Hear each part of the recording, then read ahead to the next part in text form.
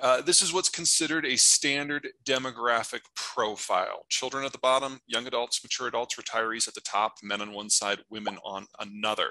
Uh, this is what most of the world looked like before the industrialization wave that occurred after World War II. But with globalization, this all changed because it used to be that we all lived on farms and you would have as many kids as you could put up with because they were free labor. Well, as many kids as you could put up with plus one because that's how you find out it's too many kids. But when you take an industrial job, which international trade made possible, those were all in the cities. And as you move off the farm and into the cities, uh, you have fewer of them because kids go from being a free, free source of labor to a massive expense and headache. And over the ages, the Korean demographic has shifted to this. The whole world has gone with the Koreans, starting from different points, going at different paces, but this has changed the economic structure of the world because when you're a young system like this, it's all about raising kids and buying homes and buying cars and going to college. Young people do all of the spending in a modern economic system. That tends to make it very inflationary. But an older system like this, it's all about the high value added workers who are doing everything they can to save for retirement. They've got decades of work experience. Their incomes are high. Their kids have moved out. So their expenses are low and they're generating a lot of spare capital for whatever they need to do. What is going on right now is the world is changing from this to whatever is next. This was always the decade when a huge chunk of the world's advanced economies were going to age from this structure like Korea's today into the next structure, which is one where we have more and more retired people, where that bulge that has defined economic existence going back to the 50s moves into a non economically vi viable state. So if a young demography is inflation driven and growth driven, and a more mature state like Korea today is investment driven, technology driven, infrastructure driven, then whatever's next can't have consumption or production or capital because retirees are sitting on their capital in the form of T-bills cash. They're no longer working, so there's no consumption and there's no production. We all make that shift at different times, but for most of the advanced world, this is the decade it all goes down give you an idea of what the neighborhood looks like. Start with the United States. We've got the healthiest demographic structure in the world. That doesn't mean it's perfect. You can see the bulge of the baby boomers in their 60s, so we're going through the same aging process as everyone else, and digesting the boomers is going to be painful. But we also have the millennials down below who are rounding out the labor force in a way that is allowing us to have a more inflation driven system as opposed to deflation. You'll also notice that there's that big gap in the roughly five to 10 year olds. That is a mix of two things or three things. Number one, that's the uh, Gen Xers kids. Small generation generates a small generation. Number two, it's the aftermath of the 2008 financial crisis. When people aren't sure of their prospects, they tend to have fewer kids. And third, it's the millennials doing everything that everyone has ever done before them, just with a six year delay. And so that was kind of the bottoming out of the birth rate. You'll notice it's already coming back, and preliminary data for 2022 and 2023 looks very positive.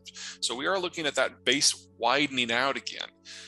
But these shifts, these uh, ins and outs of the demographic structures, they're actually going to be the single biggest factor that is shaping the labor force, our capital markets, and our economic structure for the next 50 years. And that shouldn't be a surprise to anyone because that's how it's been so far. The same holds true in Japan. On the whole, demographics shape destiny. But here it's just that the birth rate has been so low for so long, they're well past the point of any sort of demographic regeneration. About all I can say that's positive for Japan is they've seen this coming and they've done some planning automation in life, not in manufacturing, in life is more advanced in Japan than it is in any other places. They have robotic nurses, they've got hospital beds that turn patients. A lot of the stuff that doesn't require a lot of brains, but doesn't necessarily require eyes and hands, has been automated. And that's allowed Japan to age relatively gracefully. In addition, the Japanese, while they can't accept migrants because they have such a firm sense of culture, they have been able to expand spending on things like childcare and healthcare to encourage young families to have more children. It's met with some success. And so, Japan, while it is still the oldest demographic structure on Earth today, it's no longer the most rapidly aging still in the top 10, don't get carried away. But Thailand, Korea, China, and Germany and Italy are all aging faster, which brings us to Germany. This was always going to be Germany's last decade as an industrial power. They're aging too fast. They missed the point to turn the demographic ship of state 40 years ago. And they just haven't had much luck with immigra- immigration. Uh, in the 90s, they were able to bring in roughly a million people from the former Yugoslavia. That helped. And then about 10 years ago, they brought in about a million people from Syria. The problem with the Syrian refugees, once you move past the cultural disconnect, is that these people were unskilled labor and they were 85% male. They didn't bring their families with them. And so it's a shot in the arm, yes, but it's no assistance for long term demographic regeneration. There's a hope perhaps that they'll be able to pick up about a million Ukrainian refugees who are relatively highly skilled. It would be an easier carry to culturally integrate them. But at this point, the demographic decline is so far advanced that by 2030, the Germans will no longer have the workforce that's necessary to do the things that we associate with Germany. And that assumes nothing else goes wrong. Nothing with Euro, nothing with relations with the United States in terms of trade, nothing with the Russians in terms of energy. And all of that is going wrong too. And then finally, we get the People's Republic of China. Now, this is already one of the fastest aging workforces in history ever. It's actually faster than the collapse of the workforces during the Black Death, during the Middle Ages in Europe. We also know that this is not the correct data. Uh, only about two, three weeks ago, the Chinese released updated data that has since been incorporated into this graphic, showing that the birth rate has just collapsed. Uh, since 2017, between 2017 and 2021, the birth rate dropped by 40%. And that's before you consider the anecdotals we have out of China what went down with the COVID crash, suggesting that it's fallen even further. So we're already in a situation where we have roughly half as many children as we, I'm sorry, children five and under as we have children aged 10 to 15, which is well past terminal. It was already past terminal, but this is, you're, you're looking at ethnic dissolution here with this sort of trend. And that assumes this data is accurate the Shanghai Academy of Sciences is publicly trying to stir up discussion about how, because of the one child policy, people have been over-reporting births and under-reporting different statistics, especially when it comes to labor, in order to make the local provinces look better. And they estimate that the Chinese system actually has 100 fewer, 100 million fewer children than the data officially suggests that probably means that that big gouge in the lower chunk actually plays up higher within the demographic structure, and those yellow bars probably don't exist at all. This is not a country in demographic decay. This is a country in the advanced stages of demographic collapse. And we don't have an economic theory as a species for what might make this work. It's obvious from the data that the Chinese have shared that consumption led growth will never happen in China again. They actually saw a collapse in things like car sales back before COVID. They've never rebounded. And now, with the, um, the piss poor recovery we've seen post COVID in China, we now know that consumption is not part of the equation. This graphic indicates part of why. And we also know that while their labor costs have gone up by a factor of roughly 14 since the year 2000, their worker productivity has barely doubled in most sectors and it's reached only triple in some of the more advanced ones. China is no longer the low cost environment for manufacturing. It's just the place where all the industrial plant happens to be. Now, that's not nothing, but that's not enough to justify a long term investment in the system. And every subsector that has tried to reshore out of China has, has discovered shorter supply chains with more effective labor, with lower energy costs, less political risk, closer to the end consumer. China's one child policy is often held up as the pinnacle of what can happen when a government is willing to pair demographic concerns with a complete disregard for individual rights. In a few short years, strict enforcement slashed the birth rate, preventing an estimated 200 million to 400 million births and heading off the overpopulation problem that policymakers so feared. Now, the success of that policy means the end of the Chinese system. There are many legitimate criticisms of one child. Forced abortions, the ability to buy government approval to flaunt the policy, the concept that the government can choose who can reproduce when, a massive sex imbalance in a culture that prefers sons to daughters, all these and more have twisted Chinese culture in awkward and painful directions. But the real problem with One Child is that it worked. During the period from 1979 to 2003, when it was strictly enforced, the birth rate dropped by half. That slashed everything from healthcare to education to food costs. But it gutted the most recent generation. After three decades of the policy, there has been a European style hollowing out of the younger segments of the population. This presents China with three unavoidable and system killing problems. First, China is aging far more quickly than it is getting rich. At the beginning of China's international resurgence in 1990, the average Chinese citizen was only 24.9 years old, and the country boasted some 350 million citizens aged 15 to 29. It was this simple circumstance that allowed for China's massive manufacturing boom in the 1990s and 2000s. China was the world's ultimate source of cheap labor, and no other developing country could compete with the Chinese on price.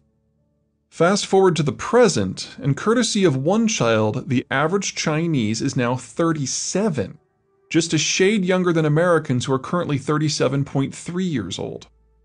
The Chinese will pass the Americans in average age in 2019, and by 2030 will be 42.9 years old versus 39.6 for the Americans. The Chinese call it the 4 2 1 problem four grandparents to two parents to one child. China is not yet wealthy enough to be able to try to afford a pension system like the advanced democracies, which places the onus of caring for the elderly on their descendants, of whom there are precious few. In terms of relative numbers, the financial cost of the one child policy is more than double the comparative costs that the Americans face from the boomer retirement. And the Americans already have a social security system in place to absorb some of the cost. The burden of having to financially support their elderly has a catastrophic impact on young workers' professional and financial development, reducing educational opportunities, gutting consumption, and all but making savings impossible. In China's specific situation, not only will this factor alone freeze in place China's efforts to switch its economy from exports to internal consumption and stymie its efforts to move up the value added scale, but it will also prevent the sort of savings that makes the force fed finance model possible in the first place. Second, China will never be able to move away from its current export driven model.